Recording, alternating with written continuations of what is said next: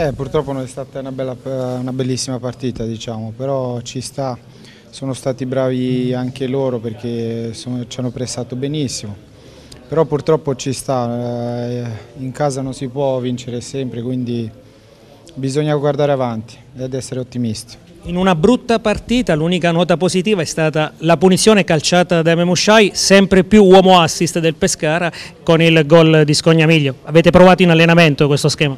No, no, Gennaro è molto bravo, è più merito suo che merito mio, quindi basta che lo cerchi lui di testa, penso sia uno dei più forti della categoria, se non il più forte. Gol simile a quello di Cittadella, ma al di là di questo, nel secondo tempo quando Pillon ha messo dentro Bellini, quindi un attaccante di grossa struttura, allargato Crecco, classico 4-4-2, le cose sono migliorate, soprattutto per l'impatto di Bellini.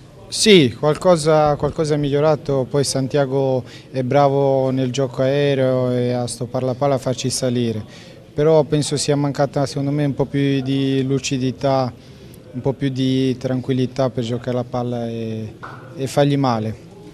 Edian, ti stai specializzando a calciare sempre più di sinistro, ormai ci stai prendendo un po' gusto.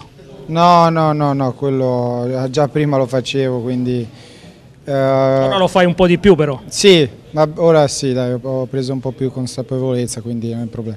Però dispiace perché oggi non è stata una bellissima partita. Ti chiedo due considerazioni, Ledian, proprio approfittando della tua sincerità. La prima, per vedere il Pescara protagonista nelle zone che contano della classifica serve un altro Pescara rispetto a quello visto questa sera.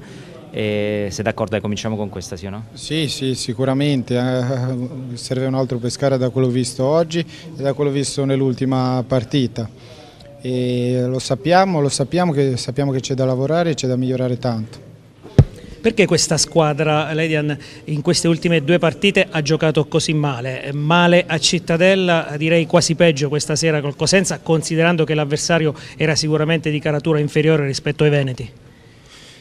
A Cittadella è stata una partita, secondo me, dove loro sono stati molto bravi e penso che sia anche uno dei campi più difficili dove tutte le grandi secondo me possono, ci sta che perdano là.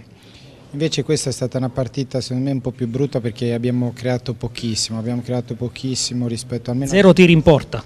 Eh sì, purtroppo, purtroppo sì, forse è questo quello che dovrebbe farci più rabbia.